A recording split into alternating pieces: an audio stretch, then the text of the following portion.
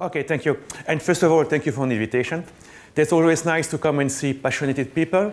People are not afraid to say IPv6 only, because that's the way we need to go. And by the way, I was here two, three years ago, uh, talking about the IPv6 Council of Belgium that I'm chairing with another friend. And at that point of time, you were zero, and Belgium was 40, right? That's where I'm coming from. Now we are 50, but you, get, get you bump to 20%, so congratulations. I mean, I guess it's part of the work of people in this room. Pretty much like Michael said, it takes enthusiastic people to make things change. And you were those gentlemen, or, and ladies, obviously. Anyway, so um, I'm part of a group called PIRL, Paris Innovation and Research Lab, even if I'm a French speaking, I'm Belgian, but anyway. Uh, we are there a group of 20 people, including PhD student, postgraduate, and people older like me. Um, and we only work in an IPv6 only world. What can we do there? What do we need to do to come there? And that's part what I'm presenting today here. Okay, quickly, I will expose the problem. What problem are we trying to solve? And basically, the solutions are two part. One, that the network tells something about multi-homing and multi-services to the host. And the other part is how the network can actually implement this. Problem statement. Before it was easy, right? You were having your old laptop or a desktop, an acoustic coupler, and a V21 for the old guy, right? and it was only ASCII. Now it went IP, and we were adding more and more interface. Look about this thing. And you've been there, right? All of us, I hope, have been there. The laptop, okay, Ethernet connectivity, yes, through multiple dongles of dongles of dongles, but anyway, still doing it. Wi-Fi, and of course, tethering with the phone. Three interface already. And now the connection, you have basically one router, you are lucky, on the exit, but connected to two ISP. And the thing in green, that's an IPsec tunnel, a VPN. So basically, if you want to go to the internet, you have four choice. Through the mobile ISP, through your VPN, through ISP1 and ISP2, multi-home. So now, of course, the guy like the Facebook and the Microsoft, and the Cisco of the world, we do BGP and easy. My wife work for SMB? No, right? No BGP. There are 10 people inside, so no way. So how do we do multi-homing? So, sorry, I have to say a dirty word.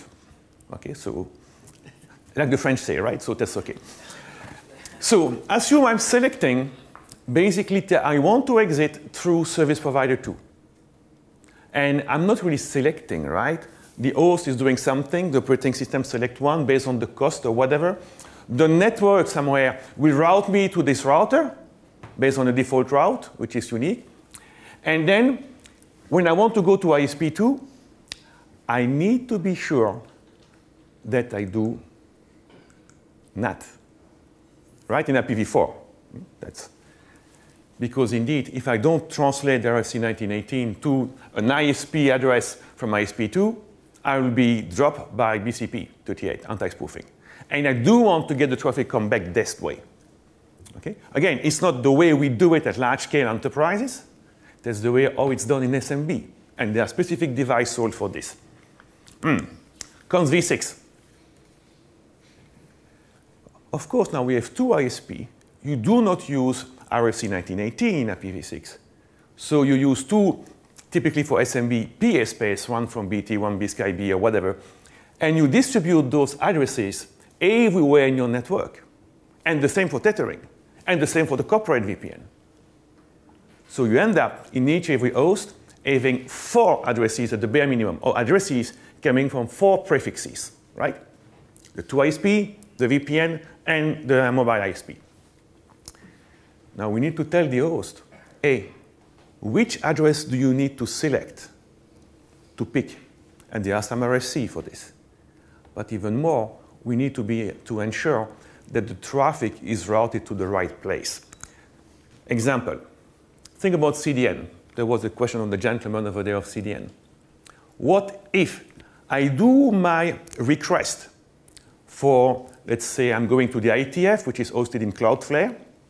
I want to go to the IETF, but the DNS request is sent to the mobile DNS server. I am from Belgium, so he will give me the cache of Akamai in Brussels, right? Because over mobile, I appear like a Belgian guy, even in UK. Now, my web request is going through the Wi-Fi here. And I will need to go, yeah, but I will go through Brussels, which is not that far away, right? But think about when I'm traveling to Australia, for instance. And you see all those things. Basically, you have multiple set of parameters coming from all the interface and all the addresses but you need to use them in a consistent way. It was for the DNS. What about routing? What about the exit point? And it's a slide from Jen Linkova from Google, where basically, and I'm really simply reusing the slide from other people to show that it's not problem invented by a guy from Cisco. That's real problem. The internet with one server, two ISP, red and blue, and an internal network and the host on the left are the green box. Two ISP, meaning that you propagate inside the two prefixes, and all the hosts on the, on the left-hand side has got addresses from the two prefixes. Now, we need to be sure that when the host on the top left use the blue address, it's routed through ISP1, ISP8, the blue one, else it will be dropped. And same thing now, at the bottom one, if you use the red address, it needs to be routed based on the source, okay, not on destination. It's a default route. So the default route is this way, but only if you have a red address, and then you go to ISP and you find. Why? If you select for any kind of reason the blue address, you need to be routed differently and exit at the ISP blue. And why would you select the red or the blue? By default, by the source address selection algorithm, the longest match, which is the reason why this guy is using the blue address to reach an address which is close to the blue ISP. That's the default behavior. Uh, we talk about the um, API ball, not so easy source address selection, and I think that you will agree, is another nightmare. Okay, and uh, there is not even ULA there, so we are lucky. Zach and Veronica, a colleague of yours, Marcus Keane, presented this in Prague. Roughly the same thing, but with real addresses. So this is the Microsoft network, and we got two Microsoft people here for any questions, right? so laptop, he is connected, obviously, to the corporate greenish color of the Microsoft network. So you receive an address from 2A0. But they are also doing what they call local exit. So they exit from a sales office or technical office directly to the internet via the Blue ISP, 2001 DB8. And they push all the addresses and the two prefixes everywhere. So far, so good, right? You want to go to something inside 2A01, you use the green address. You want to go to the internet, most probably you will go and use the blue address, right? Because source address selection. Mm-hmm. So far, so good. But Microsoft is also using its own address space for Azure in the cloud. Now, which address will the laptop and the operating system, um, I guess Windows, right? Not really there. or, or, or, Linux, I don't know. I don't know. It can be everything. Everything. Okay, anyway, I was. Uh, it was yeah. I've been in Seattle, I've seen also. anyway, so any operating system here will look, oh, I need to 2A01. I have two address, 2A01 something and 2001. The longest match is the green. And I'm going through the corporate network, which is not what you want to do. So hopefully it will be routed back so no connectivity, but it's not optimum at all. Okay, so we see example, real example uh, there.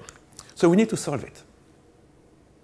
As I briefly explained at the beginning, one way to solve it is to tell the host and the application which are the prefixes that you can use to get an IP address from, and why would you prefer to use this one, rather than simply relying on the longest match, which is rather crude. So we have a draft, and uh, you, you find back Marcus Keane here as an author, together with people from Cisco, myself, and Pierre, and two guys from Apple. So there is a huge interest from IT services, from OS vendors, and from network vendors there. So we talk about something called provisioning domain. Provisioning, that's all the information you need to provision a network device to work. IP address, subnet mask, I mean, IPv6 is always slash 64 most of the time. What are my recursive DNS server? What are my DNS search list? Which is my next hop. We make a bundle of this. And anytime you use one IP address, you need to use this next hop, this DNS server, and so on and so on. That's a bundle. It's called provisioning domain. And we extend this PVD, which is until now only at the layer 3, by other applications that are more relevant, basically, for the applications. And I shall describe this.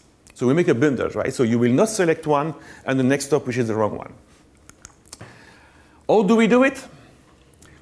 We use, by the way, this IETF draft, okay, just to be sure it's not shipping or whatever, even if you are far away in the implementation part.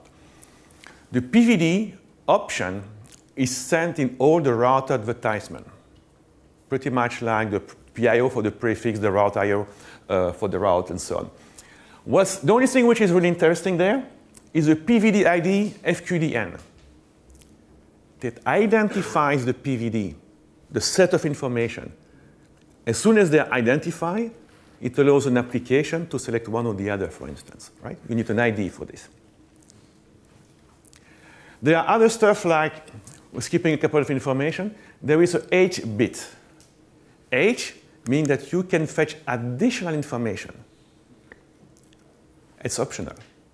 But if the H is there, you use the fully qualified domain name you got into the array, you, you do HTTP over uh, TLS to a dot well known slash PVD.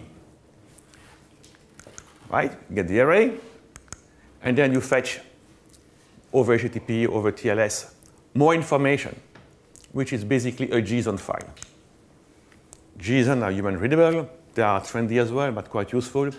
And for instance, at what you can find there. We can find a name, which could even be localized. Okay, so when you go to Beijing, you will get something in the English character set and not in Chinese character set, uh, localized name.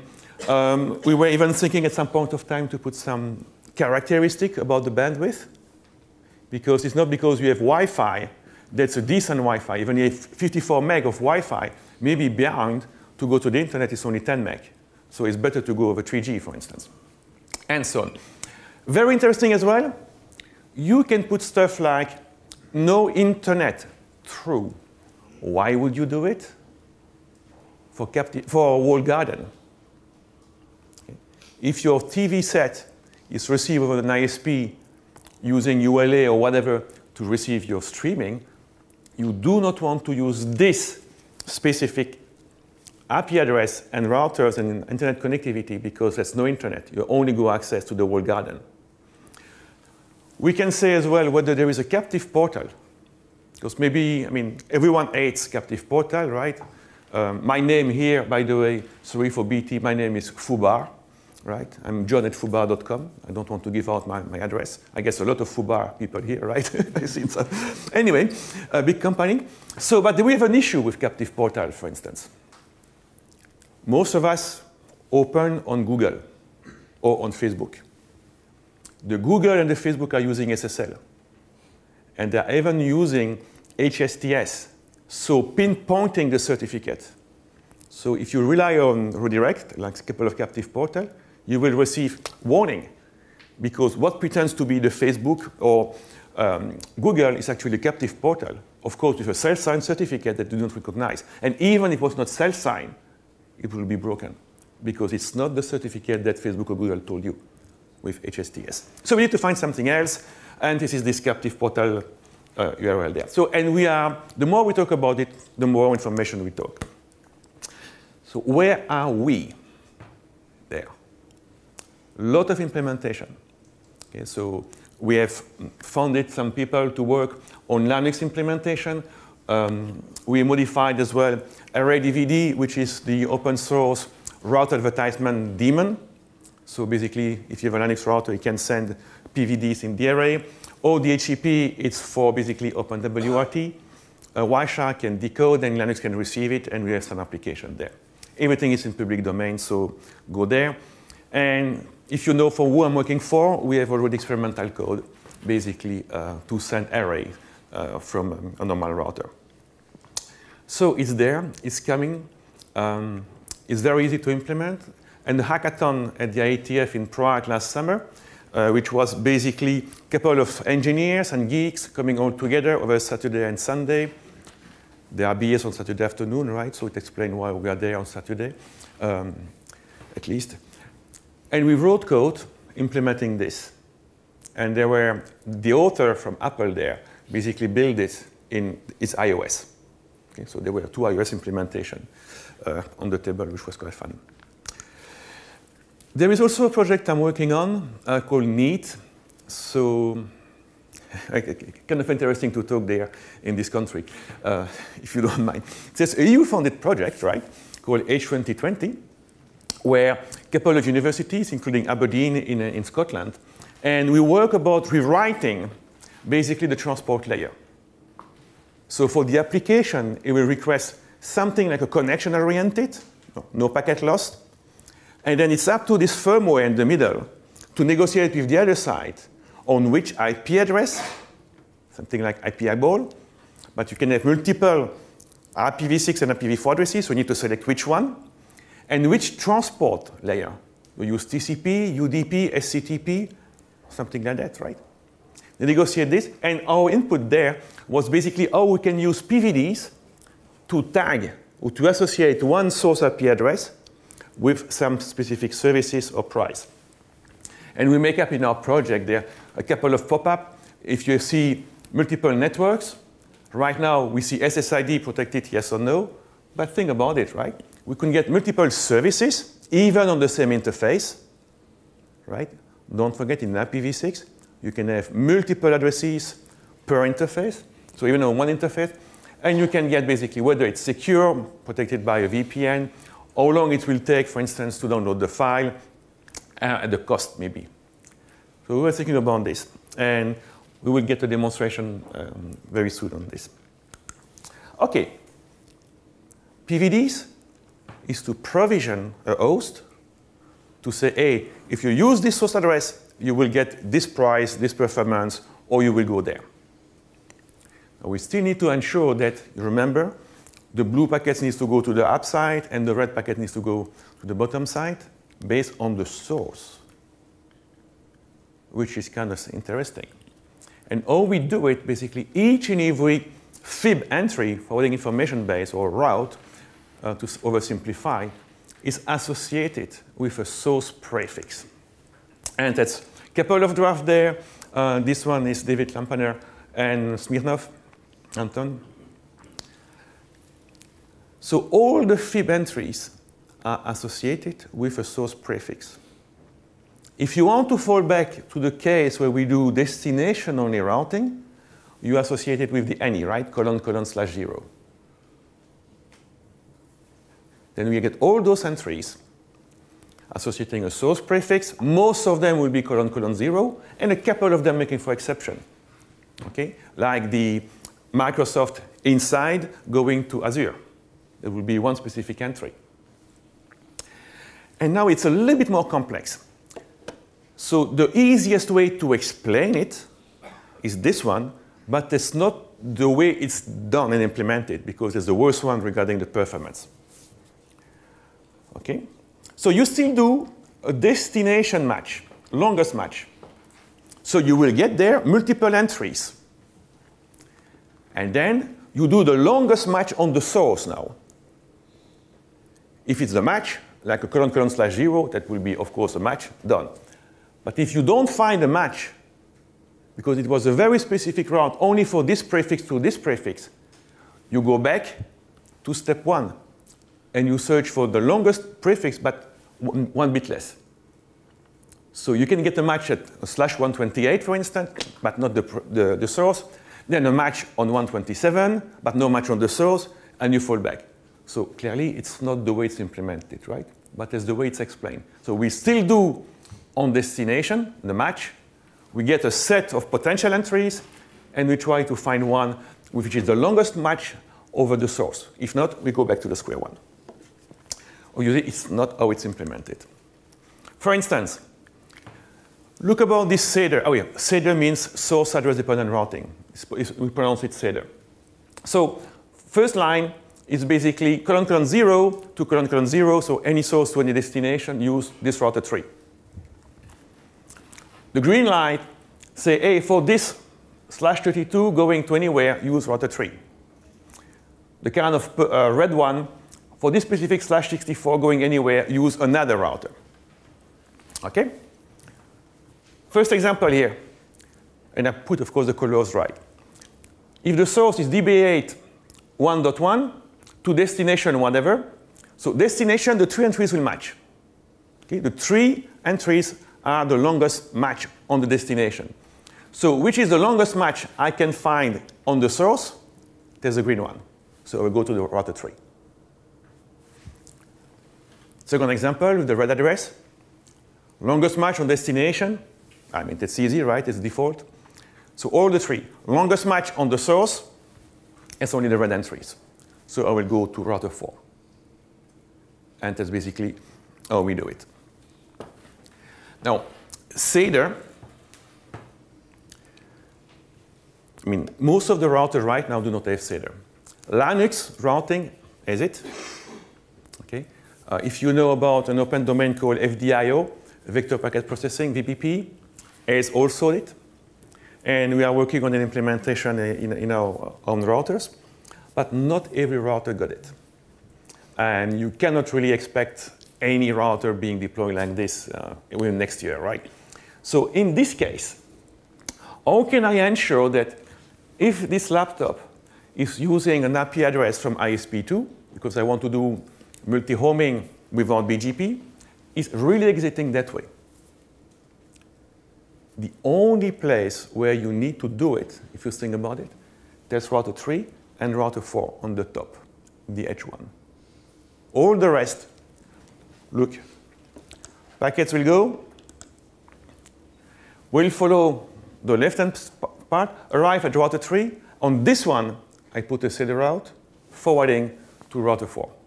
And of course, on router 4, you do the reverse. Okay, and you make it dynamic.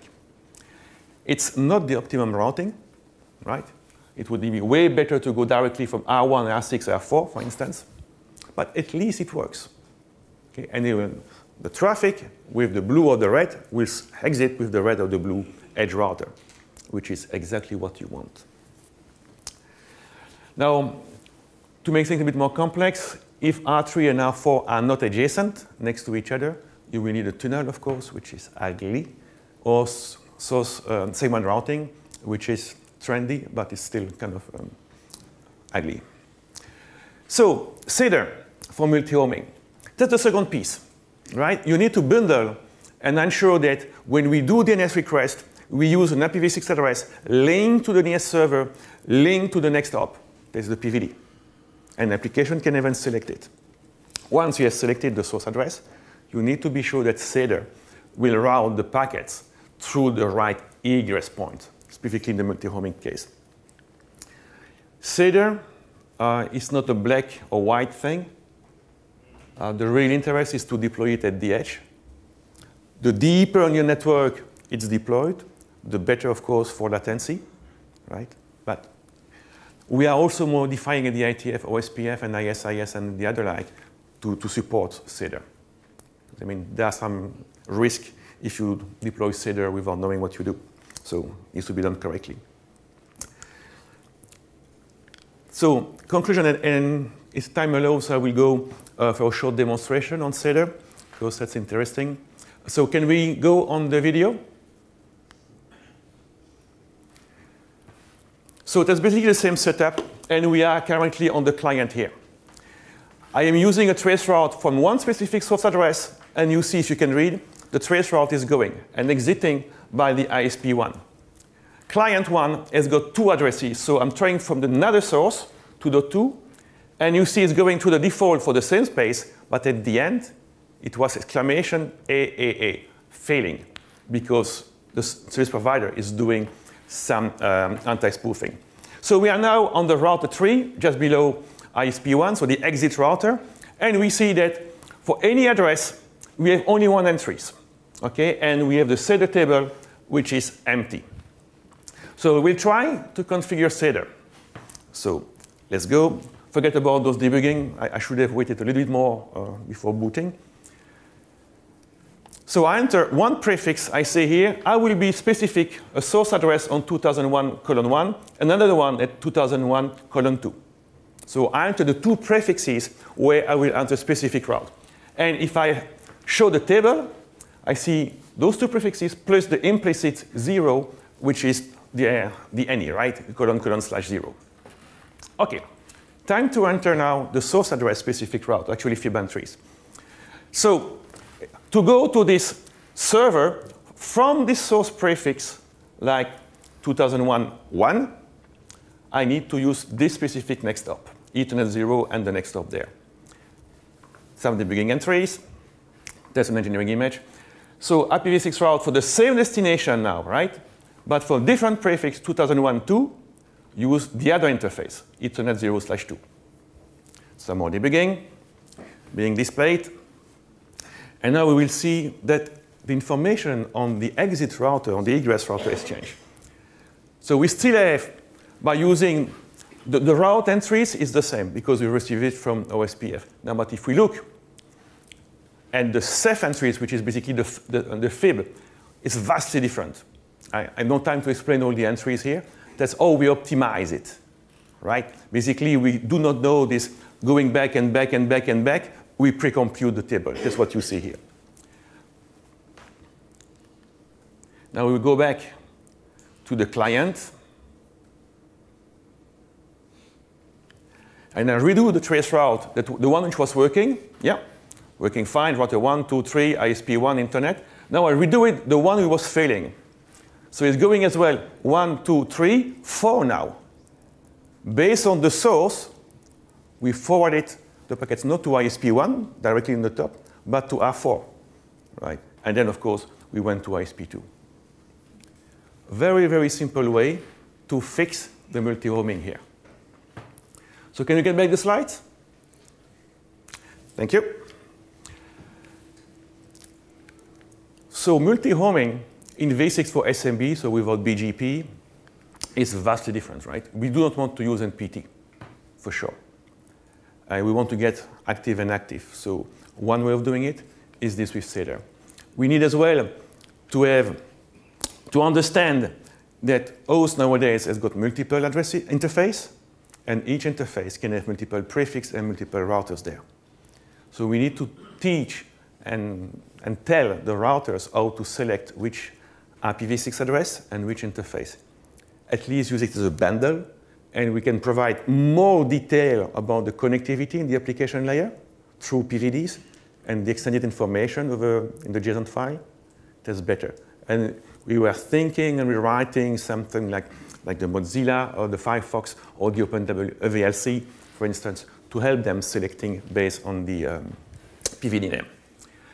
Having done this, whether you are using the application layer stuff or not, or simply routing, we need to teach the network at least the egress, that based on the source, go that way and that way. Then the problem will be solved.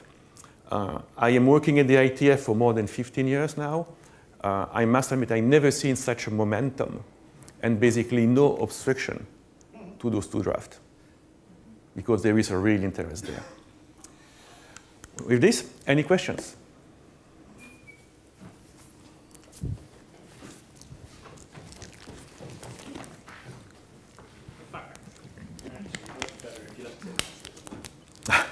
You want to do some exercise for the. I'm going there, I'm going there, I'm getting there. I wasn't sure what was the shortest route. I mean, the show is in the room actually, right? So. Yeah, we need Yeah, to, yeah. for the mics. But it's a layer two, right? So it's meaning spanning tree or something. I, I, Uh, Tim Vo from ProView. Uh, I'm glad you're working on this problem because it's a problem that uh, we had. I worked for a small company with around 20 people and we ended up getting PI space and BGP because the world was going nuts without this. I want to know how you're thinking about detecting ISP failure. You have two ISPs and one of them decides to, to go crazy. Yeah. How do you, what's So- your thoughts on that? So on, on this, so typically in this case, ISP1 and ISP2, one can fail. So it's basically another draft from, from Google in this case and other people that detect that when we do not have the connectivity via one specific, we stop at the bottom. I, can I go back? Uh, anyway, you remember the bottom? The, the, the router that's sending the, the prefixes via router advertisement stop advertising the prefix from the failed ISP link. That's how it's done at the car. We don't really reroute inside because we don't care too much. We could do it obviously, and that's why OSPF said that we'll do. I, th- Uh, I think I think the fact you just mentioned OSPF that means it's quite a large network. Okay. You know, but but you're saying just drop the drop the route Yeah, announcement so- as soon as it goes. Correct. So now, if you have, it's, you can even do it right now with um, TCL scripting on routers. I mean, fr- from, from my side and other. You send an RA with a lifetime of zero. Uh, it, it doesn't it doesn't work in theory, yeah, but that's No, it does that's- work. Yeah. We try in labs, though. Now, it depends on which router, but Yeah. typically, and you can confirm, every time we are receiving a PIO with a lifetime of zero, is deprecated immediately and not used anymore. So we only use the other one. Okay, you should test that in uh, in real world examples because even with Linux clients, uh, I've seen situations where you send a lifetime of zero and IPv6 never works going on the host until it reboots. So that's a that's a problem we we we've come across. Okay. And I, I worked on this for several months before just deciding to just get some PI space because you know Yeah. it's it's very um, it's multiple problems. Like, Yeah, there's a lot PI more space things will to solve the, the problem Yeah. for sure. So- okay. So, Um, uh, Liquid, Liquid Telecom, Andrew from Liquid Telecom had the same issues with routers not uh, not withdrawing those prefixes when the prefix when the default route went away, and that was one of his main reasons for advocating for static IPv6 prefix delegations instead of dynamic. So it could be kind of those same issues what you're seeing in that in your example. okay. I will do my test. Yeah. Good. I, I have a question. I don't have a lot of experience with this, but sorry if the question um, doesn't make sense. Is fair to say that this is some kind of policy-based routing? That's fair to say that it replaced policy-based routing. So now, my second question is, how does this scale with full routing tables? It, so, two points there. First, policy-based routing is quite static, and in a couple of imp- implementation uh, has poor performance. This one we can tune in the implementation because it's only changing, is doing policy-based routing only based on the source, not on TCP ports or whatever. So it can be more optimized. Right? Sure, but for That's example, if you have like, if your network is very fragmented and you are not able to aggregate in one block, So now, regarding the scalability, uh, we, the way we see the use case, it's typically very small exception. So for instance, to tell you, um, the way it's optimized in Cisco routers is we have 16 maximum uh, route with a source prefix out of 1,000. So we make some tests because it's available on, in engineering image on some hardware. And we make some tests with 16 source prefix and 10,000 normal fib entries, right? We don't do on internet, right? For enterprise stuff here. Performance, it was mainly 1% in the worst case. okay, so it's not target for full internet routing. No, absolutely not. That's an enterprise solution. No, no, no, of course not. And does this will work in? It's not even for the Facebook of the world, right? So Yeah. Will this work in generic uh, Tomahawk or Trident 2 Jericho hardware or only proprietary hardware? So it will, instance, we have one implementation in software and one implementation in one hardware. But we spend, I mean, not me, but the engineer in, in, in Shanghai spend mostly one month of tuning everything from the code which works fine on software to using this specific hardware with this specific network processor, right? And using parallelism and this kind of stuff. So yeah, it, it's not easy. Eh, You can design hardware for doing it from scratch. That's easy. But retrofitting on existing hardware, This is where I see the biggest challenge to adopt this, this hardware. Yeah, for sure. And, and again, it will not be used tomorrow, right? Uh, but it could be used from small SMB with one or two routes, basically, yeah. And, I mean, my wife is working in SMB, she's multi-home, and I want her to have V6 without NAT. It will solve my problem. and, and bigger as well, right? But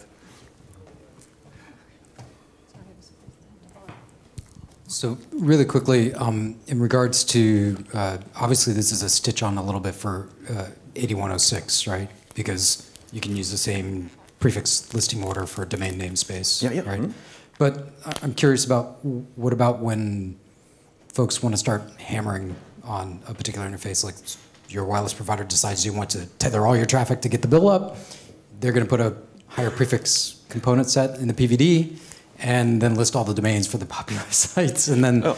right, there, there can be a little bit of abuse going on there in terms of what could potentially get published. And then also what happens when you have conflicts within the two JSON files that have the same namespaces but don't have a declarative uh, tiebreaker. Yeah, so if you have, we can I simplify a bit the explanation. So you can receive by, from two RA, from two interfaces, or from two routers on the same interface, the same PVD ID. The intent is to say, yeah, this is BT, for instance, or Sky, or whatever, from multiple interface, and they deliver the same services. So in this case, and we write in the draft, the JSON file content should be the same. Else,